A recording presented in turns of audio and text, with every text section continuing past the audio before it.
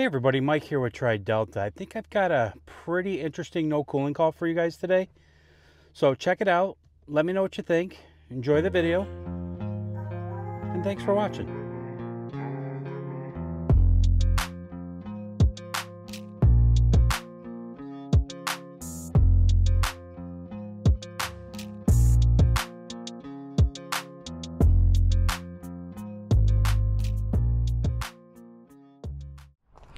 Okay guys, welcome to Okemos. It is 68 degrees.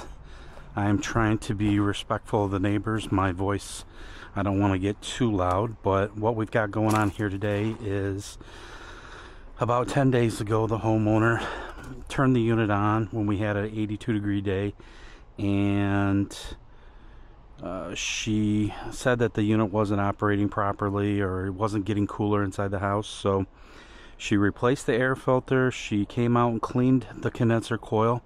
Looks like she did a pretty good job. Um, at that point, then what she did was she noticed that there was a block of ice on the suction line. So what we're going to do is I'm going to throw my probes on it. We're going to see what's going on with what. And uh, so stay tuned. So what I'm going to do is I'm going to take a photo of the subcooling I'm to let this run for about 10 to 15 minutes before I get an actual diagnostic on it. So we're to do a static pressure test on the system. We're to make sure that we got proper airflow going across the coil. I'm really hoping that we don't have a TXV problem. We're to go one speed lower.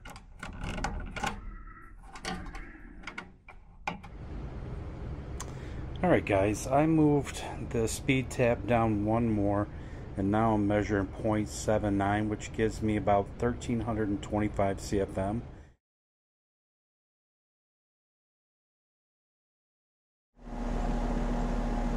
How can I be a negative 13 superheat? I got a subcooling of 10. Right there, they're requiring subcooling of 10. I'm sitting at a 74 degree outdoor temperature.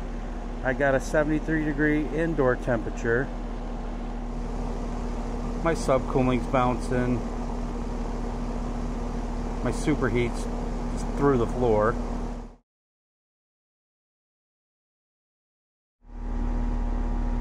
Yeah, I'm thinking TXV problem at this point, so stay tuned. I think we're going to order a TXV and we're going to get that thing replaced. Alright guys, let me bring you back up to speed. It's been a couple of days for me. I'm trying to be quiet because the homeowner's office is right next to us. I don't want to disturb her with anything that we've got going on.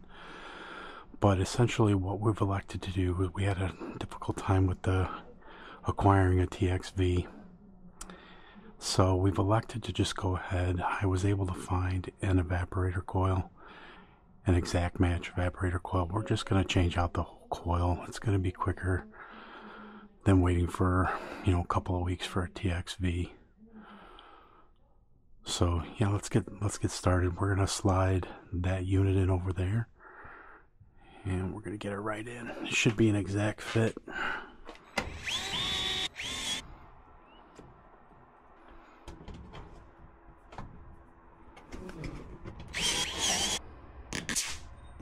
That's what we want to hear.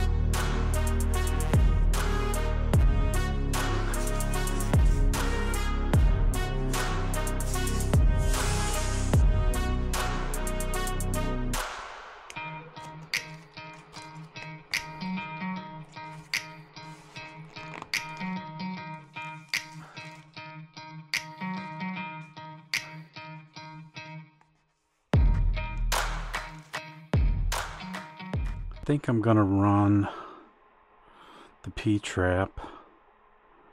A little something like this.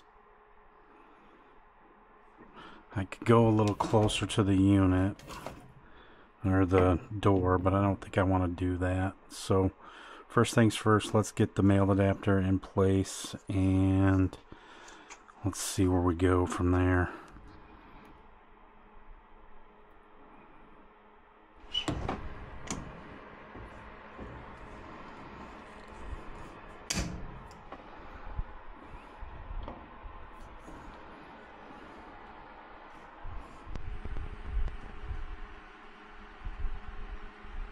All right, guys, while I wait for the system to be evacuated, I figured I'd let you guys take a look at the coil and I would like to break down my thought process on the situation that we have. So when I take a look at everything, you know, all of my pressures, all of my temperatures, everything is screaming at me, Mike, you've got an airflow problem. Just just accept it, figure out what's going on and go from there. The problem is that all my static tests, they look pretty good. My my speed settings on the blower finally dialed in. My my pressure drop across the MERV 11 air filter looks good. You know, pressure drop across the this coil looked really good. And as you guys can see, it's not dirty by any stretch of the imagination. It's got a little dirt in it, but nothing that would block airflow enough to give me those types of superheat and that type of, you know, low pressure at, you know, low suction pressure. So, at this point through the process of elimination, I'm at the TXV, and in this case, it's going to be the evaporator coil. But I just wanted you guys to take a look at it. I something else. I don't have a restriction across the um, the filter dryer either. So I at this point, it's got to be the TXV. I mean, I'm already pot committed, so to speak. So we're going to go ahead and finish that evacuation on the unit I'm gonna take a look at everything and let's see how we end up. Okay, slowly but surely we're moving down, but this is taking a really long time. Alright guys, I just shut my vacuum pump down. Now we're isolating. I'm going to do a leak check on the unit. Let this run for 10 minutes and see what we come up with.